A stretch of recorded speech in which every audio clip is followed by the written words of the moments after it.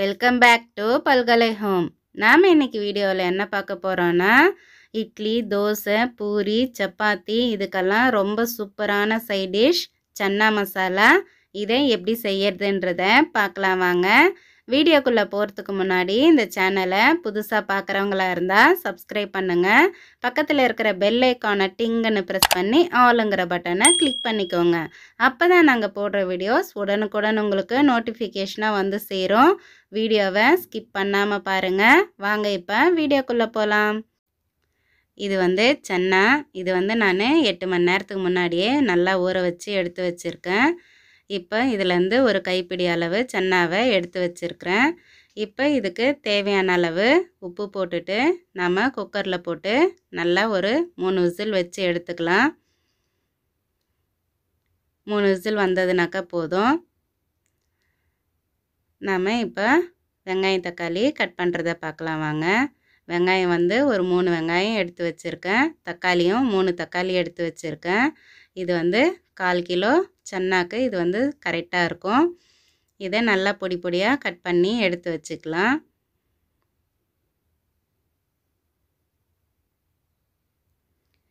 வெங்காயம் தக்காளி கட் பண்ணியாச்சு. சன்னாவும் வெந்து வந்துடுச்சு பாருங்கள் மூணு விசில் வந்துடுச்சு.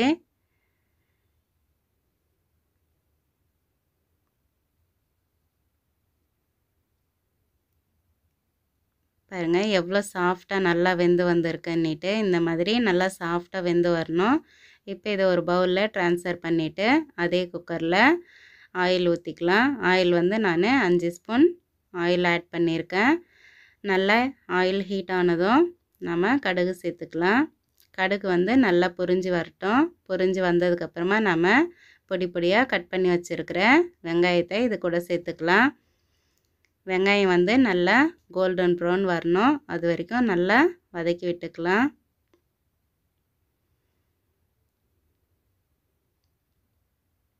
நல்லா கலர் மாறிடுச்சு பாருங்கள் வெங்காயம். இந்த ஸ்டேஜில் நம்ம தக்காளி கட் பண்ணி வச்சுருக்கிற தக்காளியை இது கூட சேர்த்துக்கலாம். தக்காளி நல்லா மேஷ் ஆகி வரணும். அது வரைக்கும் நல்லா ஹை ஃப்ளேம்லேயே வச்சு வதக்கி விட்டுக்கலாம்.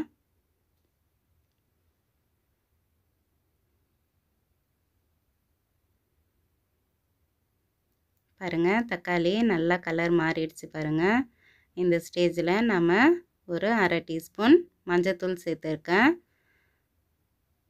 மஞ்சத்தூள் சேர்த்ததுக்கப்புறமா நான் இஞ்சி பூண்டு சேர்த்துருக்கேன். இஞ்சி பூண்டு வந்து ஒரு மூணு டேபிள் ஸ்பூன் இஞ்சி பூண்டு சேர்த்துருக்கேன்.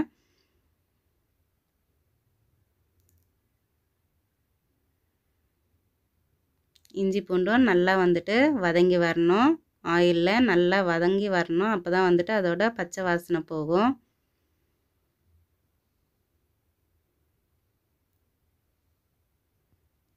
பாருங்கள் இஞ்சி பூண்டு நல்லா வதங்கி வந்துடுச்சு. இந்த ஸ்டேஜில் நம்ம மிளகாய்த்தூள் சேர்த்துக்கலாம். இது வந்து வீட்லேயே அரைச்ச மிளகாய்த்தூள் இது வந்து ஒன்றரை டேபிள் ஸ்பூன் மிளகாய்த்தூள் சேர்த்துருக்கேன். இதுவும் வந்து எண்ணெயிலே நல்லா வதக்கி விட்டுக்கலாம். அப்போ தான் இதோட பச்சை வாசனைலாம் நல்லா போயிட்டு நல்லா இருக்கும் வாசனை.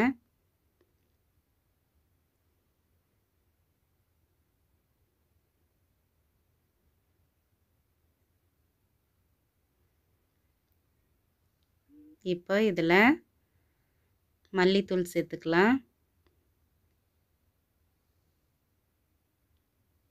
மல்லித்தூள் பார்த்திங்கனாக்கா ஒன்றரை டீஸ்பூன் மல்லித்தூள் சேர்த்துருக்கேன்.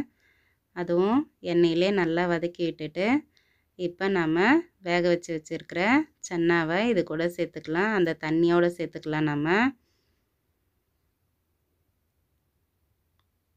நல்லா கலந்து விட்டுக்கலாம்.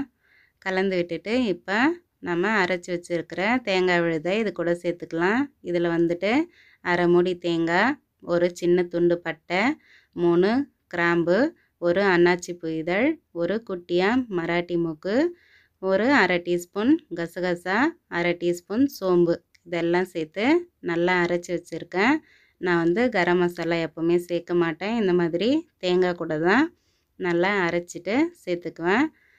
இந்த மாதிரி நல்லா சேர்த்துட்டு கலந்து விட்டுடலாம். இப்போ இது வந்து சன்னா நம்ம ஒரு பிடி சன்னா எடுத்து வச்சோம் இல்லைங்களா? அது வந்துட்டு மிக்சியில் கொஞ்சம் கொர கொரப்பாக அரைச்சிட்டு இது கூட சேர்த்துக்கலாம். சேர்த்துட்டு நல்லா இது மாதிரி கலந்து விட்டுட்டு இப்போ நம்மளுக்கு தேவையான அளவு தண்ணி ஊற்றிக்கலாம் தேவையான அளவு தண்ணி ஊற்றிட்டு நீங்கள் டேஸ்ட் பார்த்துக்கோங்க உப்பு காரம் இதெல்லாம் சரியாக இருக்கா அப்படின்ட்டு டெஸ்ட் பண்ணி பார்த்துக்கோங்க டெஸ்ட் பண்ணிவிட்டு மூடி போட்டு மூடி வச்சிடலாம். இது வந்து ஒரு ரெண்டு விசில் வந்ததுனாக்கா சரியாக இருக்கும். இப்போ நம்ம லேயர்டு சப்பாத்தி செய்யலாம் பாருங்கள் நீங்கள் சப்பாத்தி மாவு எந்த மாதிரி வேணாலும் பிசைஞ்சிக்கோங்க. இந்த மாதிரி தேய்ச்சி சுட்டு பாருங்கள் நல்லா ஃப்ளஃபியாக வரும். சூப்பராகவும் இருக்கும் சாப்பிட்றதுக்கு. இந்த மாதிரி ட்ரை பண்ணி பாருங்கள் சப்பாத்திக்கு மாவு வந்துட்டு இந்த மாதிரி நல்லா ரவுண்டாக திரட்டிட்டு இதில் ஆயில் அப்ளை பண்ணிக்கலாம்.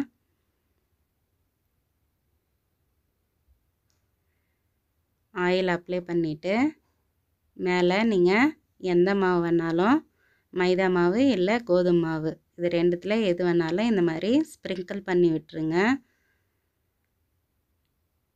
தூவி விட்டுட்டு இது வந்துட்டு இந்த மாதிரி மூடிட்டு மறுபடியும் தேய்ச்சிடுங்க. தேய்ச்சிட்டிங்கனாக்கா இந்த மாதிரி நல்லா ஃப்ளஃபியாக வருங்க சப்பாத்தி. சூப்பராக இருக்கும். பசங்க ரொம்ப விரும்பி சாப்பிடுவாங்க. லேயர் லேயராக வர்றதுனால பசங்களுக்கு ரொம்ப பிடிக்கும். பாருங்கள் சூப்பராக தேய்ச்சிட்டோம்.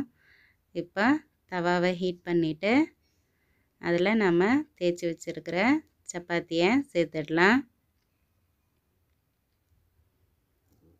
நல்லா வந்துட்டு ஒரு சைடு கொஞ்சம் நல்லா இதுவானதும் நாம் இதில் ஆயில் அப்ளை பண்ணிக்கலாம்.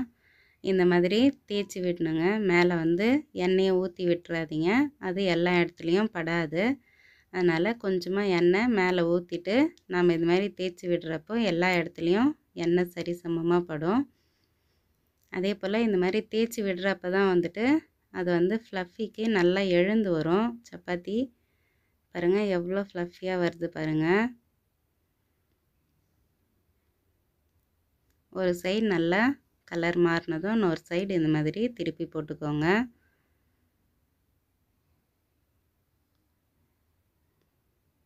நல்லா இதில் வந்துட்டு த்ரீ லேயர்ஸ் வருங்க. த்ரீ லேயர்ஸ் இல்லை ஃபோர் லேயர்ஸ் கூட வரும் ஒரு ஒரு நேரம். நீங்கள் இன்னும் லேயர்டாக வேணும்னாக்கா இதே மாதிரி இன்னொரு வாட்டியும் இதே மாதிரியே தேய்ச்சிக்கிட்டோம் அப்படின்னம்னாக்கா இன்னும் லேயர் லேயராக வரும். பாருங்கள் சூப்பராக ரெடி ஆயிடுச்சு. இது வந்து நூறு சப்பாத்தி. இதுவுமே பாருங்கள் நல்லா ஃப்ளஃபியாக வந்திருக்கு. இந்த மாதிரி ஃப்ளஃபியாக வந்ததும் பசங்களுக்கு காட்டினோம்னாக்காவே பசங்க விரும்பி சாப்பிட்றதுக்கு ஆரம்பிச்சிருவாங்க. நல்லா இருக்குது லேயர் லேயராக இருக்குது அப்படின்ட்டு அவங்களுக்கு ரொம்ப பிடிக்கும். இந்த மாதிரி செய்து கொடுத்தீங்கனாக்கா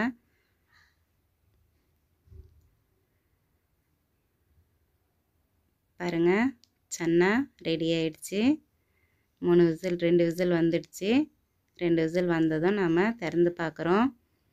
நல்லா வந்துட்டு சூப்பராக நல்லா திக்காக வந்திருக்கு பாருங்கள் நம்ம எவ்வளோ தண்ணி ஊற்றணும் அதெல்லாம் நல்லா அந்த சென்னை அரைச்சி போட்டோம் இல்லைங்களா? அது வந்து நல்லா திக்காக வந்திருக்கு பாருங்கள் சூப்பராக இருக்குது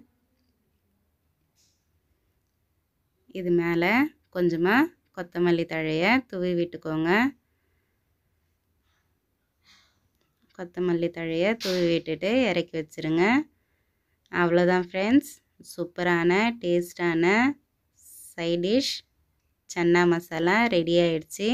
நீங்களும் இதே மாதிரி ட்ரை பண்ணி பாருங்கள் ட்ரை பண்ணி பார்த்துட்டு எப்படி வந்ததுன்னு கமெண்ட் பாக்ஸில் கமெண்ட் பண்ணுங்கள் இந்த வீடியோ உங்களுக்கு பிடிச்சிருந்தா லைக் பண்ணுங்கள் கமெண்ட் பண்ணுங்கள் ஷேர் பண்ணுங்கள் நன்றி வணக்கம்.